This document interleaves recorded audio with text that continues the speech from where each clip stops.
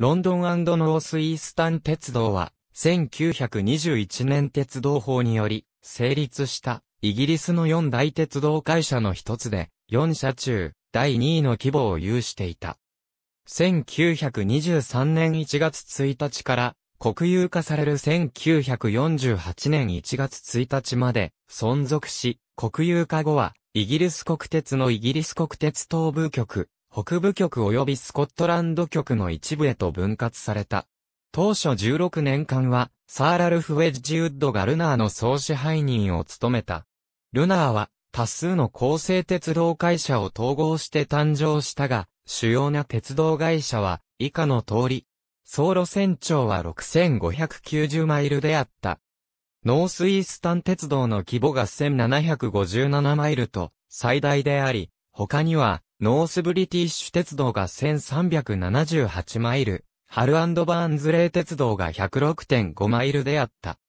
ルナーはこの他、下記を有していた、ロンドンミッドランドスコティッシュ鉄道と共同で、ルナーは、イギリス最大の合弁鉄道である、ミッドランドグレートノーザン合弁鉄道を有していたが、その大部分は、ルナーの路線と競合していた。1936年に、この合弁鉄道全体がルナーの鉄道網に組み込まれた。ルナーは、その名が示すように、ロンドンの北から東にあたる地域に路線を有していた。これには、ロンドンからヨーク、ニューカッスルアポンタインを経て、エディンバラに至るイーストコースト本線と、エディンバラからアバディーン及びインバネスに至る路線が含まれる。ペナイン山脈の東側のほとんどは、イーストアングリアの広大な平地を含めルナーの領域であった。ルナーの主要工場群は、ドンカスターにあった。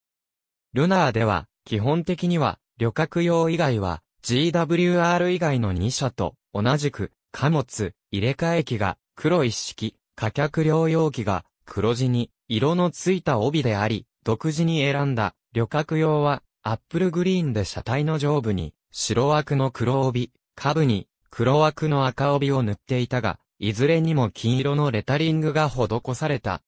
客車は一般に、チークのニス塗り仕上げであり、数少ない金属製客車にもわざわざ決めまで、再現したチークに似た塗装が施された。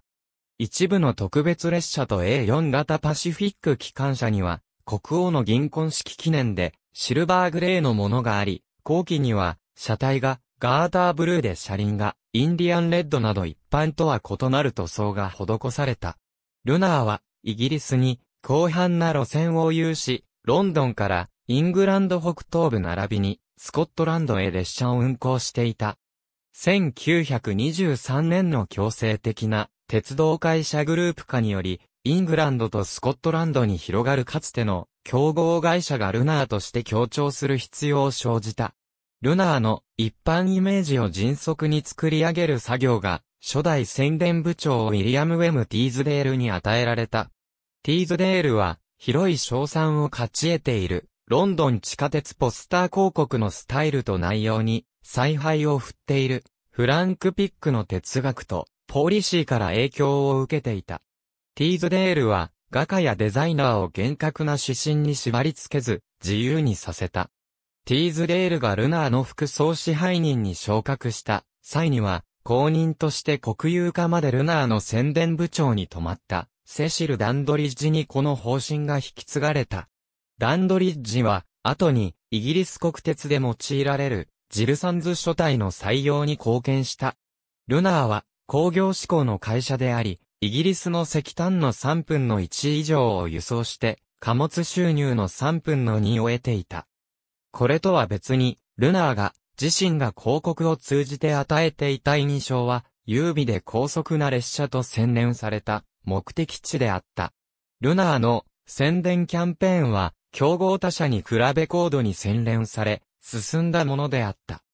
ティーズデールとダンドリッジは、トム・パービスといった最高峰のグラフィックデザイナーやポスター画家に仕事を依頼し、ルナーのサービスを宣伝するとともに大衆が夏季休暇に東海岸を訪れるよう呼びかけた。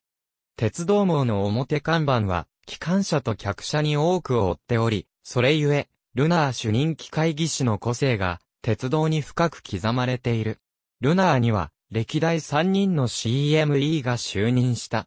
サーナイジェル・グレズリーは、ルナーの初代 CME であり、ルナーの存続したほとんどの間その任にあったため、ルナーに最も影響を及ぼした。グレズリーはグレート、ノーザン鉄道 CME を経て、ルナーの CME に就任した。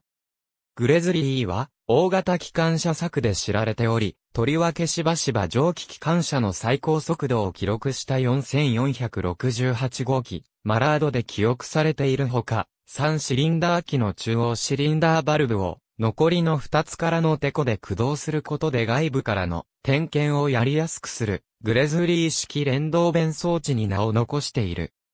しかしながら、アーネスト・スチュワート・コックスは1942年に作成したレポートで LMS の機関車と比較して6倍の故障が起きていること、固有の欠陥があり、世界中で使用が中止されていること、理論的には正しいが実際は正しく作動していないことを指摘し、新しい機関車にこの設計を用いてはいけないと結論付けている。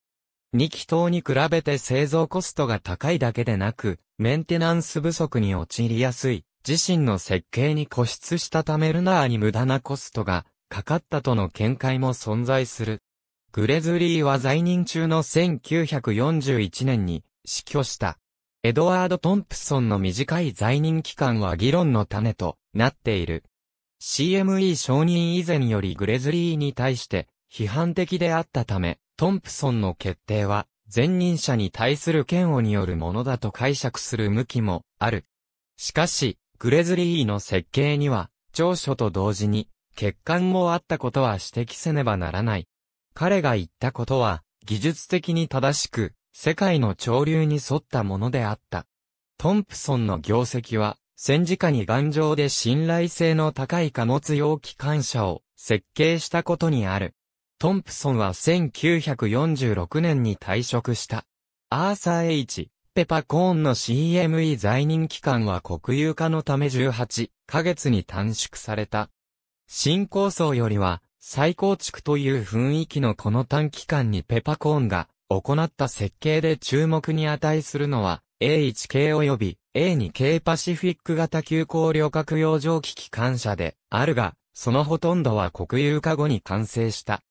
グレズリー門下のペパコーンはまたグレズリーの賞賛者でもあり、ペパコーン設計の機関車は、グレズリーの古典的設計と、グレズリーが十分には成し得なかった、信頼性と、堅牢さと合わせ持つものであった。ルナーは国有化により、都市間鉄道の大規模な駅が受けた、戦争被害から迅速に復興できた。1996年のイギリス国鉄民営化の際、東海岸本線の長距離列車のフランチャイズは、当初 C コンテナ社が獲得し、新列車運行会社をグレート、ノースイースタンレールウェイと命名した。この会社名と略称は、ルナーを連想させる、よう意図的に選ばれたものである。親会社である C コンテナ社の財政困難のため、2007年12月9日に、ナーは、権利を移譲し、このフランチャイズは、ナショナルエクスプレスイーストコーストに引き継がれた。統合前の鉄道会社。ありがとうございます。